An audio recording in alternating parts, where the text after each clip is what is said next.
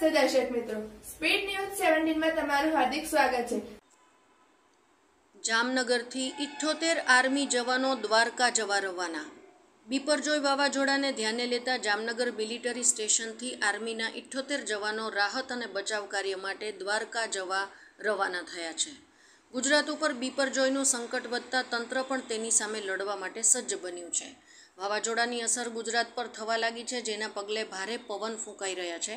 આવી પરિસ્થિતિમાં દરિયા કિનારાના વિસ્તારોમાં વધુ અસર સર્જાશે. ચક્રવાત બીપરજોયની પરિસ્થિતિને ધ્યાનમાં રાખીને લોકોની સલામતી અને સુરક્ષા જળવાઈ રહે તે માટે જિલ્લા વહીવટીતંત્ર, જામનગર ઉપરાંત સેનાની ત્રણેય પાંખો, આર્મી, નેવી અને એરફોર્સ પણ મદદે આવી છે.